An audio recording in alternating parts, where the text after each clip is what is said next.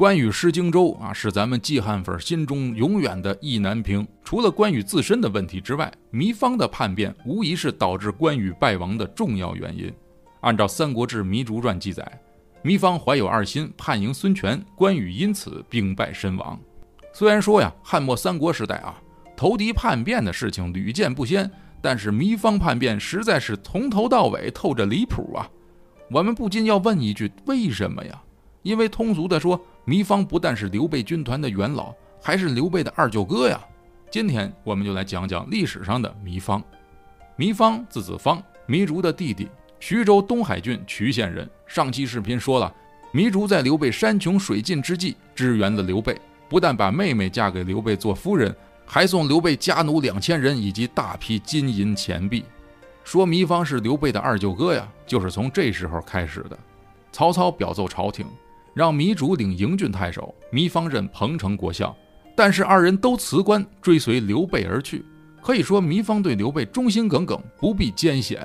有趣的是啊，在小说《三国演义·长坂坡之战》一回，罗贯中写糜芳面带数箭，踉跄而来，见刘备告赵云的黑状，说赵云向北投降曹操了。好家伙，面带数箭，这是多厚的脸皮呀！罗贯中多损呐，漫山遍野的笋都被罗贯中夺完了。《云别传》记载，历史上确实有人告赵云的黑状。但没说这人是谁。罗贯中写成糜芳，也算是为后面糜芳黑化做铺垫。糜芳后来被刘备重用，担任南郡太守，协助关羽镇守荆州。历史上糜芳并非良将啊，能担当这样的重任，应该就是因为受刘备信任。值得一提的是，镇守公安的士人也是刘备军团元老级别人物。那这俩人有守城的能力吗？按照《水经注》记载，南郡由关羽筑城，很难被攻克。曹操那边的董昭啊。也说这俩城防守牢固。那吕蒙要是擅长攻城呢？别忘了上次隔壁傻小子郝普带着宪兵啊，挡住了吕蒙一个月。所以说糜芳坚持几天等关羽回援总是没有问题的。可是他偏偏不战而降了。多少大风大浪都过来了，为什么关键时刻跳反啊？葬送大家奋斗一生的事业。瑞哥带大家从有限的史料寻找答案。《糜竺传》里说呀。糜芳丝好邪二，叛迎孙权。也就是说，糜芳这个人本身就是立场不坚定，怀有二心。吴录里说，南郡城失了火，烧了很多的军备。关羽责怪糜芳，糜芳很害怕。关羽传里说，关羽出征的时候，糜芳和世人都供应不上军需物资，耽误军情。关羽说：“回来再收拾你们。”关羽假节钺是有权利斩杀他们的。大军出征，军备被烧，其实这个罪过不杀也得免职。而关羽只是骂你们两句，明显是给台阶下呀，已经是念旧情了。您还想怎么着呀？还得夸您呐。当然，适当的处理方法就是暂时不论是非，先安抚住糜芳和世人，要么就干脆把他们换掉。但是这不是关羽的行事风格。张飞是鞭挞士卒之后，还把士卒留在身边，关羽这也是一样，狠话说完还接着信任他。要么说关张二人死于天真。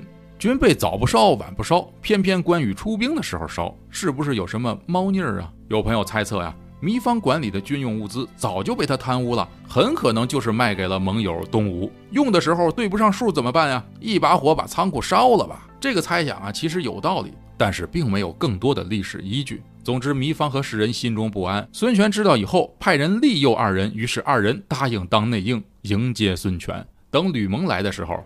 世人和糜芳先后不战而降，糜芳啊还给吕蒙准备了牛肉和美酒，礼节上非常的周到。世人虽然答应迎接孙权，但是犹犹豫豫，半推半就。等吕蒙真来了，他一开始是坚守城池的。吕蒙派江东第一大喷子劝降专业户于帆去劝降，但是世人拒绝相见啊。于是于帆写了封信：“世人将军呐，明者防祸于未萌，智者图患于将来呀。”就是说明智的人防患于未然，聪明的人能考虑到将来的祸患，知晓得失之道就是做人的道理，知晓存亡之道啊，可以辨别凶吉呀。如今我东吴大军行进至此，你的斥候来不及回报，烽火来不及点燃，这不是天意，是因为我们有内应啊。将军不能提前预料，时机到了又不能抓住。单独守卫三面环水的城池而不降，死战则毁家灭族，成为天下人的笑料。等吕蒙将军断了您的生路，您跑都跑不了。我私下里替将军感到不安呐，希望您能慎重考虑。世人看完后哭着就投降了。于帆和吕蒙怕世人反悔，押着他去南郡找糜芳，让世人去劝降糜芳。糜芳拿出牛肉和美酒，欢迎吴军入城。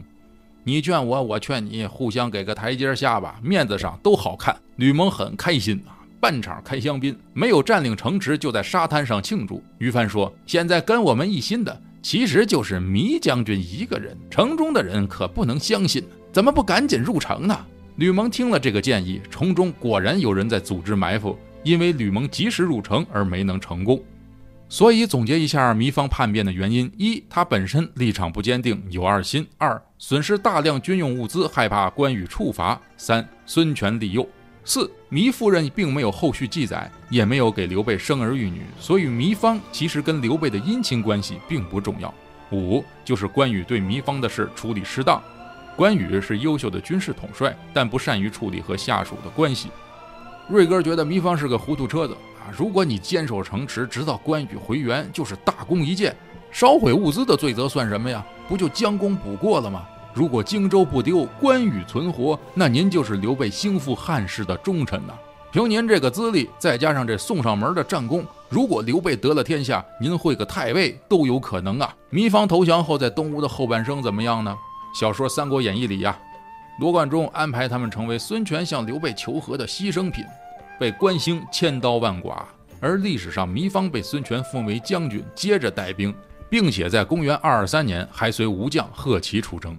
但是吴国有人很鄙视他。一次，糜芳乘船遇到于帆的船，糜芳的人啊还挺横，喊道：“啊，避将军船！”于帆厉声骂道：“你有什么可豪横的？失去忠诚信义的人，用什么侍奉君主？使人失去两座城池，却称将军，要脸吗？”糜芳关上窗，让于帆先过。又有一次啊，于帆乘车出行，经过糜芳的营地。官吏没有开门，于帆十分生气地骂道：“该开门的时候你关门，该关门的时候你开门，哪有这样做事？这该关门的时候你开门，说的就是不战而降的事情。”糜芳听到后非常羞愧。这历史上糜芳的脸皮儿还挺薄啊，肯定不能面带数箭。季汉的杨戏评价糜芳和世人：国难当头，不匡扶援救。反而投降吴军，最后被两国臣民耻笑。糜芳就是看起来精明，其实大于弱智。投降孙权怎么可能获得更好的待遇呢？他的行为就很离谱。隔壁的零陵太守郝普啊，那更离谱，被吕蒙欺骗，两次投降东吴。下期咱们就聊聊这位在刘备军的五个荆州郡守中唯一一个抵抗过东吴的糊涂人郝普。